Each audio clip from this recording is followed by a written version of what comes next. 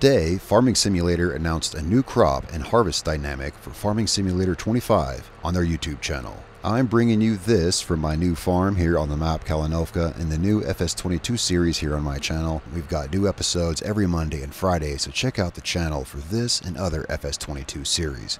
Enough on that though, so back to the news on Farming Simulator 25. Today they announced the spinach crop for FS25 and the unique way in which it will be harvested and stored and that is that you won't be storing it.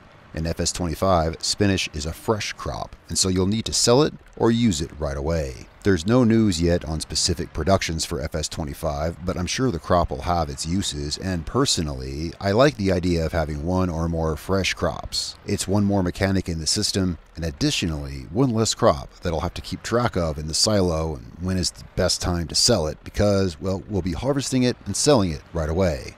And not only will spinach be a fresh crop, as I mentioned, but the harvesting itself gets a new touch. We'll be able to harvest it twice, meaning that you'll be planting your spinach in April and then harvesting it in June and then again in September. I think this is something great that will keep some fun and fresh work on your farm throughout the summer while you still can't harvest most other crops. I think it's likely we'll see more crops like spinach, which will need to be used or sold while still fresh, and I think changes like this are just what makes a new installment of Farming Simulator so good and constantly evolving. I've got a link in the description to the Farming Simulator video announcing the new spinach crop. It's just a short video, but it's always great to see more footage and updates on what is looking to be an incredible installment in the Farming Simulator franchise. That's it for now, but I'll be around to give you more news, updates, and soon enough, gameplay and series from Farming Simulator 25 after its launch in November.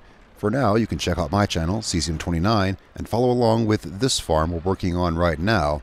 Thanks a lot for watching, for your views and subscriptions, and I look forward to seeing you in the next one, where we'll be continuing into fall here on the farm.